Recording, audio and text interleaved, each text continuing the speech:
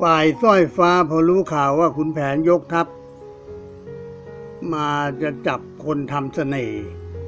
และบัดนี้พระพรมษาก็ได้ใช้ให้สีมาลา ไปตามขุนแผนมาเช่นนั้นสร้อยฟ้าก็เห็นว่า ถ้าปล่อยให้ไปรับมาก็คงจะยุ่งกันเป็นใหญ่แน่ เพราะถ้าขุนแผนมาเมื่อไหร่ เรื่องมันคงจะแดงขึ้นมานั้น นางก็คิดจะกำจัดสีมาลาซะจึงเรียกคนใช้เก่าแก่ ชื่อว่าไอ้ขนานอ้ายมา แล้วก็เล่าเรื่องให้ฟัง พลางก็บอกว่า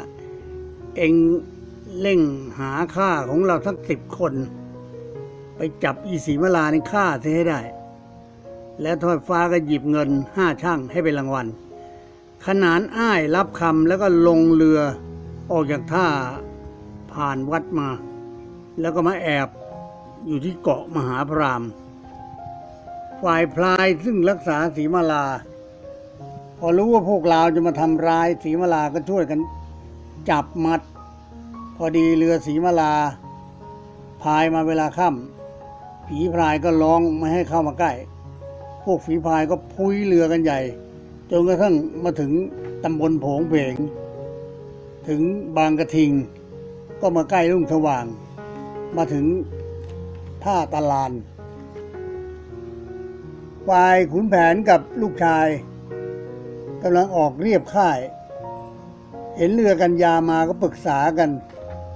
เห็นทีไม่ต้องมีใครใช้มาแน่ มองเห็นเป็นผู้หญิง พอเรือเข้ามาใกล้ จึงเห็นอีเมยนั่งพระเพียบเรียบร้อยอยู่ข้างหน้า และสีมาลานั่งอยู่กลาง จึงร้องถามไปว่าเรื่องอะไรถึงได้ออกมาท้องไส้อย่างนี้ฮะสีมาลากราบตีนพ่อผัวแล้วก็บอกว่า บัดนี้มีรับสั่งให้รับพ่อเข้าไป เพราะพ่อวัยแตกทับ ไปกราบทูลว่า พ่อล้อมไล่จับกับน้องชาย หมายจะฆ่าซะพระองค์ไม่ทรงเชื่อจึงให้ลูกมารับไป อันโทสานุโทษนั้น จะทรงโปรดมีทำอะไร พอได้ยินลูกสะพ้ายว่าอย่างนั้นคุณแผนก็โมโห ที่ที่ไอ้ไวยนี่ใจพานนัก มันคิดอาจจะกราบทูลแต่ความดีเข้าใส่ตัว ฟ้องโกดูเป็นประหนึ่งว่าไอ้แก่นี่ทำยอกย้อน เมื่อพระองค์ยังไม่ทรงลงโทษ ก็จะทรงถามเราบ้าง เท็จจริงก็คงจะได้เห็นกัน เมื่อพระองค์ไม่เลี้ยงก็จนใจ ว่าแล้วคุณแผนก็สั่งพายจุมพล ให้แก้มนพลหุ่น แล้วก็ชวนลูกลงเรือไป มาถึงกรุงก็ได้เวลาเสด็จพอดีพระไวยก็เห็นพ่อมาก็กระโดดหลบอยู่ข้างเสา ตาคอยชำเลืองดูอยู่พอเห็นก็พลิกกายขยับพระไวยก็กระโดดเหย่งคุณแผนก็ชี้หน้ามึงจะมาหลอกไอ้ไวพระไวยเห็นว่าออ ไม่ไม่ไม่สู้พ่อหรอกค่ะ ขอโทษเถอะพอเสด็จออกก็ทรงเห็นคุณแผน แล้วก็พายุมพลมาเฝ้าพระองค์ แล้วก็เพ่งพินิษให้พายุมพลคนน้องนี่ท่วงทีมันก็ไม่เลวเหมือนกันนะเว้ยหน้าตาสง่าผ่าเผย ละไม้มึงก็พ่อมันทั้งสองคน จึงตัดกับขุนแผนว่า เออเนี่ดูนี่นะดูก่อนพระการจนบุรี เจ้าบังอาจยกทัพลงมามากมาย เที่ยวไปไล่ตีฟันประชาชนอย่างนี้มึงถือดีว่ามีฝีมืองั้นเลยหรือมึงคิดจะมาชิงเมืองของกูฮะมึงลืมเธอแล้วหรือว่ามึงได้ถือน้ำพิพัฒน์สัตยา กูนี่หลงรักมึงสักเท่าไหร่ เมื่อกูรู้ข่าวว่ามึงถูกไอ้มอนเอาไปฆ่า กูยังน้ำหูน้ำตาไหลเพราะสงสารมึง ไอ้ไวมันจะแก้แค้นยกทัพออกไป ไอ้พ่อลูกกลับไปไล่ฆ่ามัน กูจึงให้หา มึงมาถามดูก่อนอมึงแก้กูให้จงดี บอกความจริงมา เป็นความจริงนะ แล้วก็ถ้ายังยอกย้อนกลับกรอก มึงจะต้องถูกลงโทษถึงตายเถอะ กูเลี้ยงมึงขนาดนี้ให้ไปกินถึงการบุรีมึงยังคิดมันจะกบฏกูเพียงนี้เธอเลยฝ่ายขุนแผนก็ก้มลงกราบภาวนาแล้วก็เชื่อมนของตนอยู่แล้ว แล้วก็ทูลว่า ขอเดชะ พระองค์ผู้ทรงเดชข้าพระเจ้าจะขอกราบทูลตามความเป็นจริงทุกประการข้าพระเจ้าไม่ได้คิดกบฏทรยศถือสัจจะมั่นมาแต่ไหนแต่ไร ครั้งนี้ทำเป็นกลมาก็เพราะแค้นจะหมื่นวัยเหลือทน ครั้งแรก พระวัยโกรธเคืองศรีมาลาตีซะจนไม่ป่นยับเยินซ้ำปตีกับพายุมพลน้องชายจนต้องหนีไปเมืองการ ข้าพระเจ้ากับพระพิจิตก็ลงมาว่ากล่าว กับฮึกฮักอวดดีมีน้ำซ้ำยังหยาบช้าท้าทาย ไม่ได้คิดว่าเป็นพ่อ ข้าพระพุทธเจ้าเห็นผิดทีอยู่ แล้วก็พอเห็นว่าหน้ามันคล้ำดำเป็นฝ้า ก็แจ้งในใจว่าอไวยเนี่ย มันต้องมนยาเป็นแน่ พอบอกกลับมันก็ไม่เชื่อยิ่งทำลำเลิกเบิกประมาทประกาศว่าเป็นคนขอข้าพเจ้าออกมาจากคุก จึงออกมาได้ข้าพเจ้าจึงเก็บแค้นแน่นใจเหลือเกินไอ้จะใครฆ่ามันซะในวันนี้ หากแต่คุณแม่มาขวางอยู่สองคนกับพายุงพลก็เลยคบคิดกันว่าจะผูกหุ่นยกมาด้วยคาดว่าอไวยต้องไปลบ แล้วก็จะฆ่าใช่ให้ตาย แต่อไวยถ้าอไวยตายก็หมายรับอาภาอาญา หากว่าเกิดศึกเหนือเสือใต้ข้าพระเจ้าก็จะเอาพายุมพลถวาย อันวิชาและความเก่งกล้าแล้วพอพายุมพลกับอไวยมันก็พอๆกันพระพุทธภาษาฟังเหตุไข้ควรท่วนทีแล้วก็ตัดว่า เฮ้ย ไอ้พระการจนบุรี กูเชื่อที่มึงบอก เพราะเมื่อมึงยกทัพมา ก็หาจับผู้คนไม่ ไอ้ไวยมันก็ทำไปดีแน่บันบังอาจมาอวดอวดดีกับผู้ใหญ่ ถึงยังไงมันก็เป็นถึงผู้มีพระคุณ พ่อมันมีมากสักขนาดไหน มันไม่ควรมาลำเลิกเบิกประจานโดยไม่ได้คิดยำเกรงผู้ใหญ่ กูดูหน้า มันก็ชักจะชมเชอะเคอะคะยังไงชอบกลนานไปไอ้นี่มันอาจจะเป็นบ้าก็ได้นะ ไอ้ขุนแผนเนี่ยมึงอย่าไปเคืองมันเลย ที่มันทำบ้าๆไปก็เพราะมันไม่ได้เป็นตัวของมัน มันถูกเสน่ยาแฝดไม่เหมือนแต่ก่อน มันถือดีว่ามีวิชา มันก็คงไม่ถูกแฝดถึงถามมันเดี๋ยวนี้มันก็ไม่ยอม เราก็ต้องทำให้มันเป็นจริงให้ได้ จับตัวไอ้คนทำเสน่ห์เล่กลมานั่นแหละ ถึงจะใช้ได้ ความสงสัยมันจะปรากฏ ใครผิดใครถูก กูจะเอาให้ถึงขนาดทีเดียวพายชุมพลได้ฟังก็กราบทูลว่า ไอการจะไปจับตัวคนทำเสน่ยาแฝดนั้น กระหม่อมฉันขออาสาไปจับมา ขอพระราชทานเอาพยานไปสักคนหนึ่ง เพื่อให้ได้ตัวตนทำรูปทำรอยมา พระพรหมษาเห็นพายชุมพลอาสาแข็งแรงกับทรงพระสวน แล้วก็บอกว่าไอ้นี่มันกล้าหาญดีเว้ยเอางี้ มันเหมือนกับพระศรีนั่นแหละ เองไปเป็นพยานให้มันที จะได้แน่ชัด ไม่ต้องมีการเถียงกันเปล่าๆวิปีพายชุมพลกับพระศรีก็ถวายบังคมกลับบ้าน มาถึงก็จัดแจงแต่งตัว เป็นแขกชวาที่มาอยู่เมืองไทย สักครู่หนึ่งก็มาถึงวัดพญาแมน พลายกุมารทองก็วิ่งไปบอกกับพลายชุมพลว่า นี่แหละ กุฏิขัวตาที่ทำมน มันมีเนนเป็นลูกศิษย์มันมากันตั้งแต่เมืองลาว มันเป็นคนเรื่องลือ เรื่องชื่อ มีวิชาเก่งกล้าทั้งสองคน จะคิดอ่านแก้ไขอะไรก็ให้จงดี เจ้าพายได้ยินพี่กุมารทองบอกงั้น ก็หันไปกระซิบกับ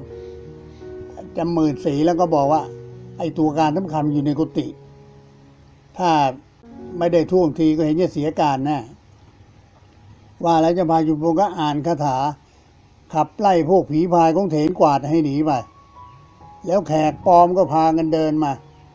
พอหมาเห็นมันก็เห่ากันโชค ไอหัสดีก็เรียกเนนให้เปิดประตู เนนจิ๋วเห็นแขกมาก็ก้อนอิฐปาหมา แตกกระจายไปแล้วก็ไปเปิดประตูรับ แล้วก็บอกว่า วันนี้วันดี จะให้กินอินตผาลัมสองแขกก็เข้าไปนั่งไหว้เถน แล้วก็ยกของมาประเคนบอกว่าเป็นมหาลัมเถนขวาดว่ากูไม่รู้เว้ยมหาลัมฮะกูไม่กินลำหรอก แขกบอกว่าวันนี้เป็นวันปีใหม่ ฉันเอาของมาให้ขัวตาเป็นของแปลกๆมากทีเดียว ฉัน มาถึงได้ยินเขาโจทย์ขานกันว่า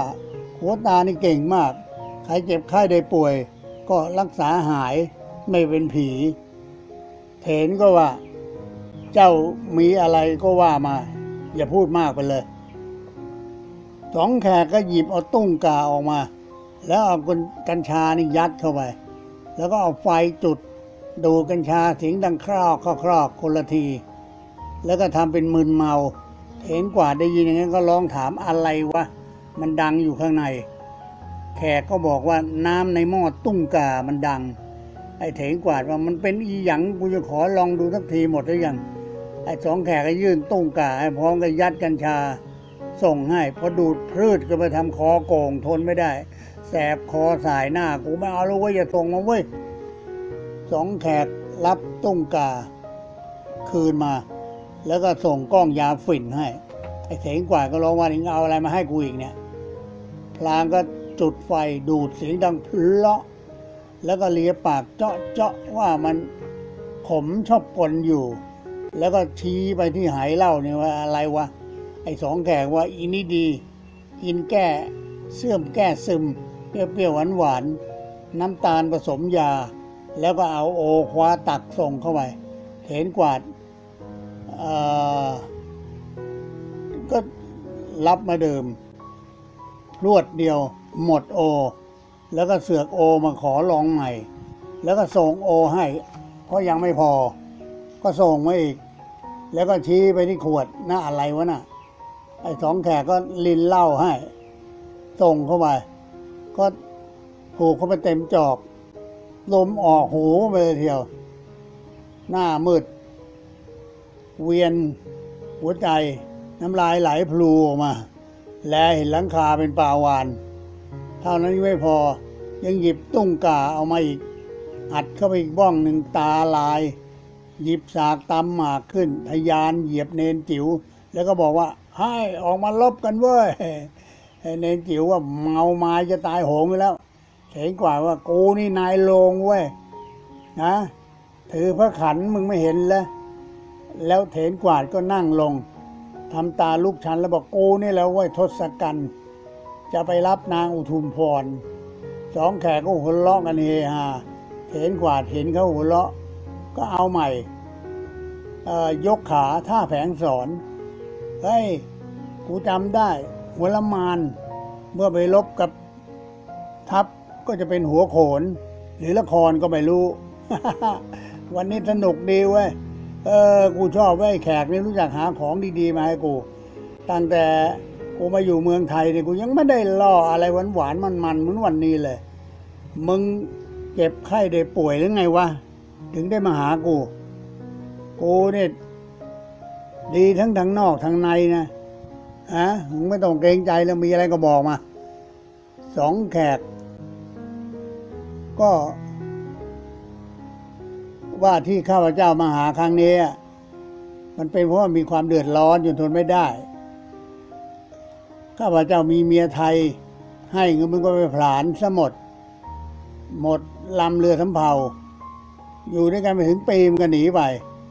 พอตาแม่ยายก็พอเข้ากัน แล้วก็มาลุมด่าว่าแขก หัวกะลานออนอกศาสนาครบไม่ได้ เข้าเรือน ก็ไม่ได้เอาดีมา ทุกวันนี้แขกลำบากใจเหลือเกิน ก็เลยชวนมาหาหลวงปู่ ช่วยแก้ไขให้หน่อยเถิด ถ้ากลับโอนอ่อนคืนดีเหมือนเดิม ก็จะถวายเงินถวายทองให้ แล้วก็ทำกุฏิ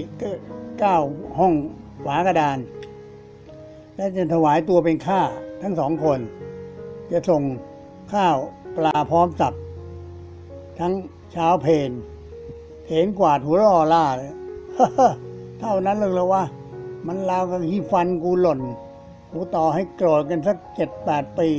ถ้าไม่กลับมาคืนดีแล้วกูจะให้ด่า ก็จะหมื่นวัยสร้อยฟ้าสีมาลางไงเว้ย กูทำมันเองนั่นแหละ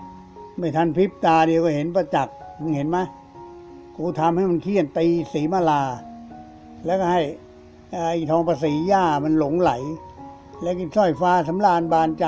ไปกับพระวัยเป็นสุขทุกวัน เนนจิ๋วได้ยินเถนกวาดคุยฟุ้งอย่างนั้นก็ตกใจทำถลายเตือนลุงตา จวนเพนแล้วนิมนต์ฉันเถอะ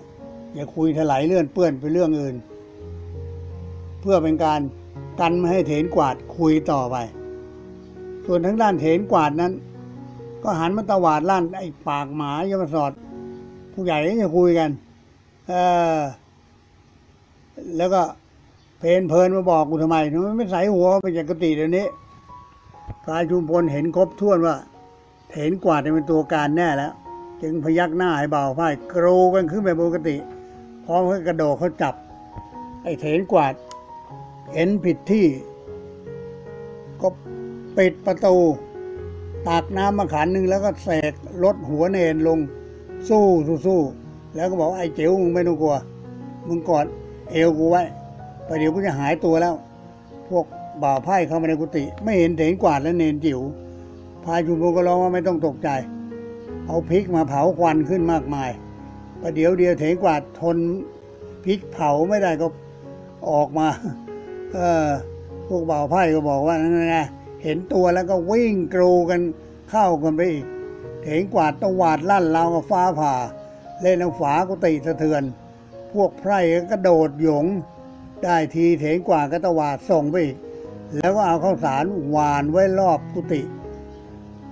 แล้วก็บอกว่าไอ้เวยเวยไอ้แขกหัวกะลา ไอ้ตาพอง มึงจะมารู้อะไรดีวะ ดีแต่ฆ่าไก่กินทุกวัน น้ำตาลมึงยังมีอยู่ไหมเนี่ย ขอกุยขันดิไอ้จองหองจะมาลองลิดกับทศกัณฐ์ไอ้ชาติชั่วหัวควัน จะตายไม่รู้ตัวพาจุมก็ร้องตวาดว่า ไอ้ชาติข้ากูจะเอาให้ตาไปปริบทีละว่าแล้วก็ซัดข้าวสารหวานไปรอบๆ เรียกพรายมาล้อมเข้าพร้อมหมด เสกจังงัง เข้ามาซ้ำเข้าไปเป่าตวาดเถนกว่าก็ยืนนิ่งไม่กระดุกกระดิกร้องด่าว่าชุดไอ้ขี้คอกมึงมันหลอกกูพายจุมพุงก็ร้องว่า กรกันขึ้นมาจับมัน เห็นกว่าก็เมาเหลือกำลังนั่งลง ลากอ้าปากอ่านอาคมไม่ได้ พวกเบาพ่ายกรูเข้าไปจับบ้างทุบเตะเถงกวาดบ้างถูกขนาดหนักกันร้องตาปริ้นมึงเอาเหล้ามากูกินแล้วจะมาห่มแหงกูอีกละ